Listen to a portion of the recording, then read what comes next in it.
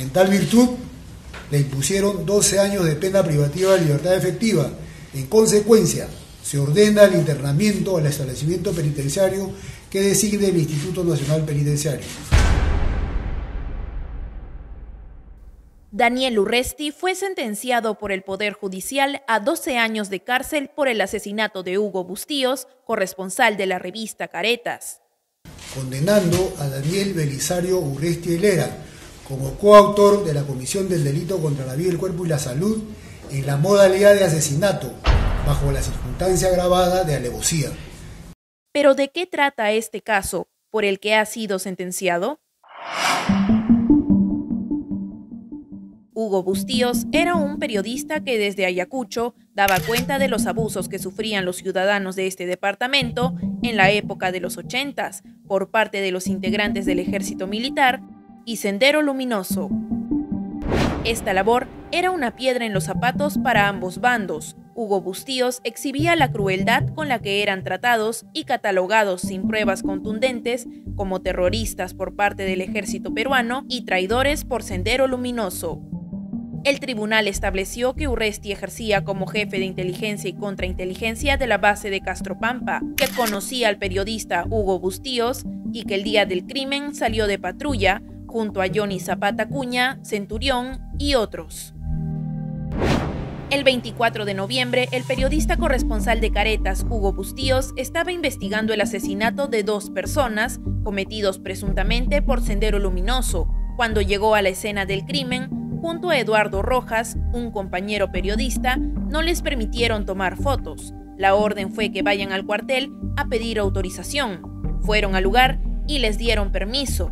Luego regresaron a la escena del crimen y ahí fueron recibidos con disparos a pesar de identificarse como periodistas. Después de los disparos, les arrojaron explosivos al cuerpo.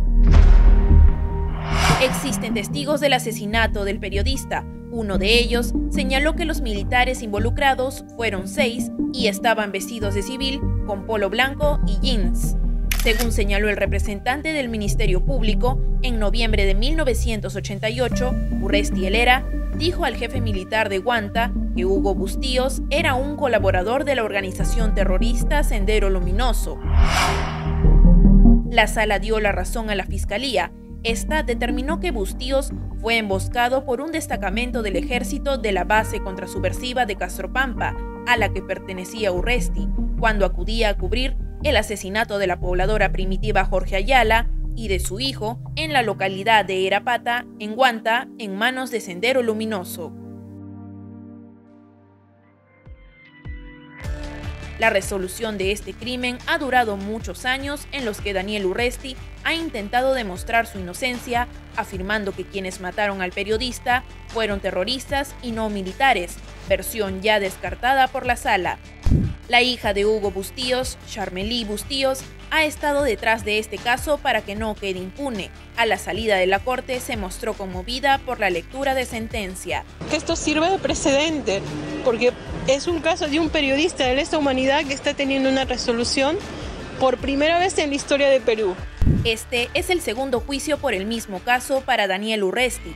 El pasado 5 de octubre del 2018, el colegiado B de la Sala Penal Nacional lo absolvió al considerar que no había fundamentos para acreditar su responsabilidad por el asesinato de Hugo Bustíos.